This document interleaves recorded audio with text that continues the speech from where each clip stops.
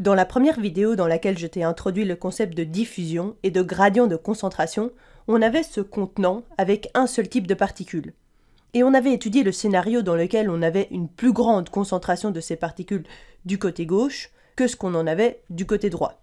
Si on regarde le gradient de concentration, on va donc du côté gauche où il y a une forte concentration vers le côté droit où on a une faible concentration.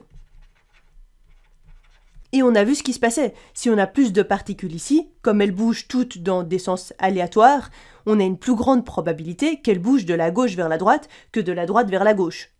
On va avoir des choses qui vont bouger de la droite vers la gauche, mais on aura plus de choses qui vont bouger de la gauche vers la droite, vu qu'il y en a plus du côté gauche.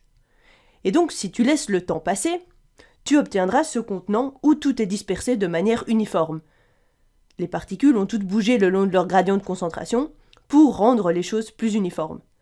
Alors ce qui est intéressant avec ce schéma, c'est que j'ai introduit un second type de particules, ces grandes particules jaunes.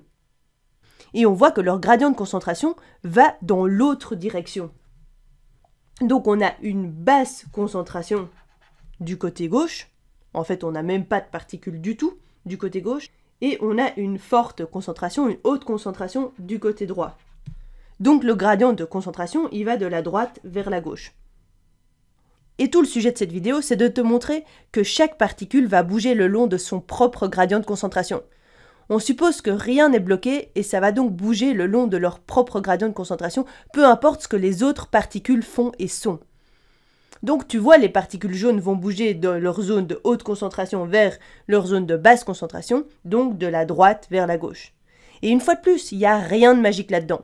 Les particules, elles ne se disent pas Oh, ici, j'ai sept de mes amis, on est trop serré, je suis un peu claustrophobe, bougeons de l'autre côté. Non, c'est pas du tout ça qui se passe. Elles bougent juste de manière aléatoire, dans tous les sens.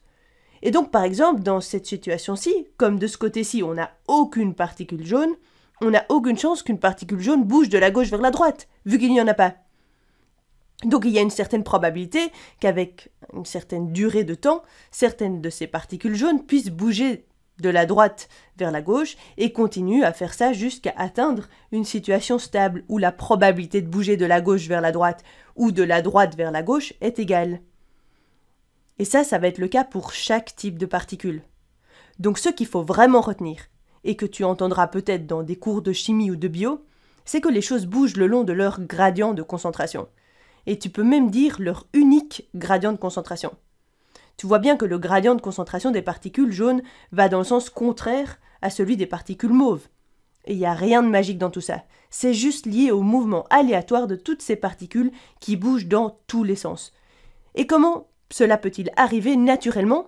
Eh bien naturellement, tu vas avoir une plus grande probabilité de bouger depuis une haute concentration vers une basse concentration que de bouger d'une basse concentration vers une haute concentration.